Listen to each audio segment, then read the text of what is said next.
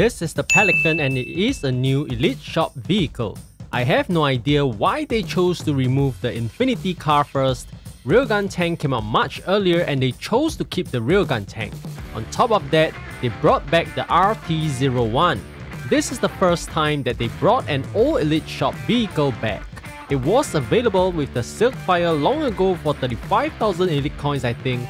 The movement has definitely become more sluggish. Next up, we have an old vehicle for 500,000 points.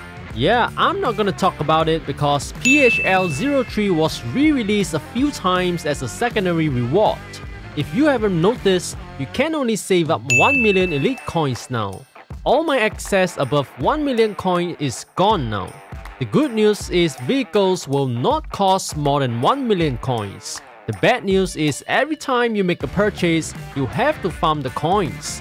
You can no longer farm and save when you are free and just slack off when you are not.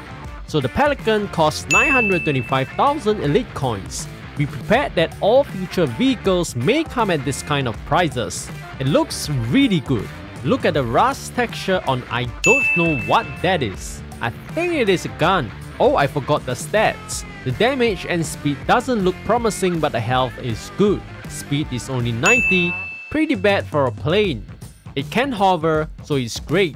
Yeah, it's not very fast, but it is pretty agile.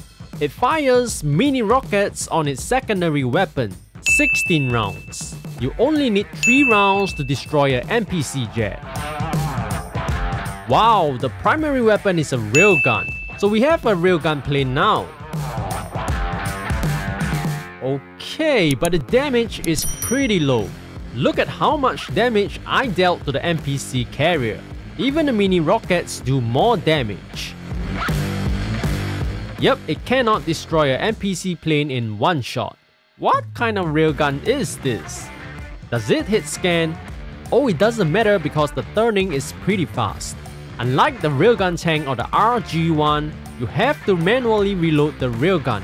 That is because you can fire two railgun rounds at once.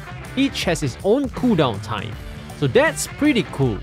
It can take 26 heat knife slashes at level 1. That's very impressive. It's still lower than AC-130 but AC-130 is a sky fortress, but the Pelican is actually classified as a jet. 3 mini rockets to destroy a level 1 gold F-35. 3 railgun shots to destroy the same thing. It will take many shots to destroy the Pelican so I shan't waste your time. Is it worth the time to grind for 925,000 elite coins? Probably not, but I think the price would be right at about 500,000 elite coins. This is a nice addition but it's not something overpowered.